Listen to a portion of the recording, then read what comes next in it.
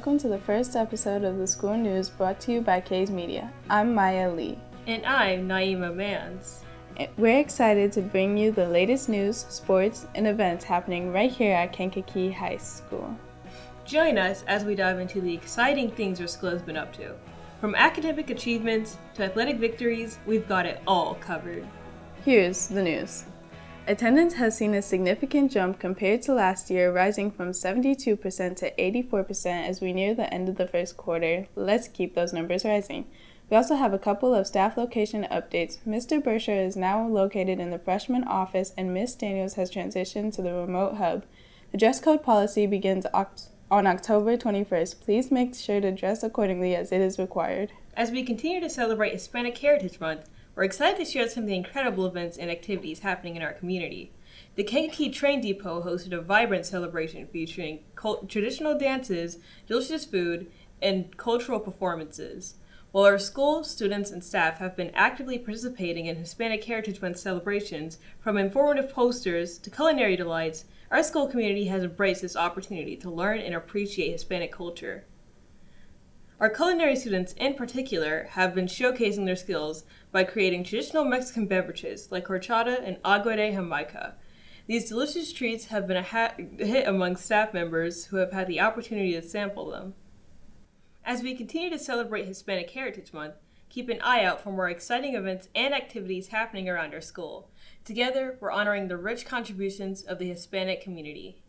And now, let's turn our attention over to the KHSN scoreboard.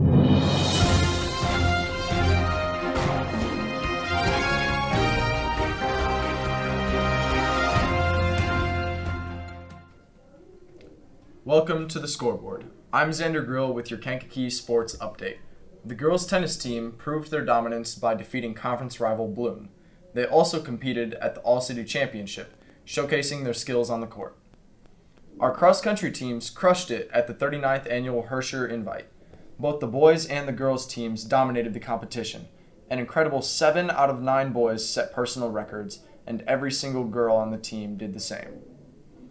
The varsity girls volleyball team is also making waves, boasting an 11 on 11 record overall and a solid 6 and 1 conference record, placing them at second in the conference. The Kays golf team absolutely dominated the conference tournament at Oak Springs, securing the championship with a team score of 322. Girls swim continued their strong performance with a second place finish at the Homewood Flossmoor Invite. The varsity boys soccer team has also been in a competitive back and forth this season with an 8 and 8 record and a 4 and 2 conference mark. They've showed resilience and skill on the field. The Kankakee Kays football team continues their winning streak, dominating the field with a 5 and 1 record. They're now 3 and 0 in conference after defeating the Rich Township Raptors last Friday in a blowout 58 to 6. Make sure to tune in to support the team for this Saturday's game. As we continue to follow the progress of our Kankakee Kays athletes, we're excited to see what they'll accomplish in the weeks to come. That's this week's KHS scoreboard. Back to you guys.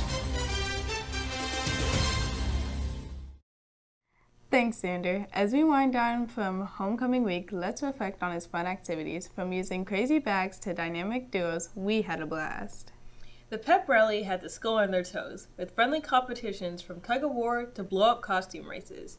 It ended with a win from the junior class against the staff in a winner takes all volleyball game. We also had our annual homecoming parade down Court Street. Students and families from across the district came out to support our school. The parades boasted our staff and students through clubs and athletics. The parade wrapped up at the train depot celebration, where we were able to recognize the accomplishments of all our fall sports. That's all for this episode of Schools News. Brought to you by Kays Media. Thanks for watching. Remember to stay tuned for our news, updates, and events from Kankakee High School. Go, Go Kays!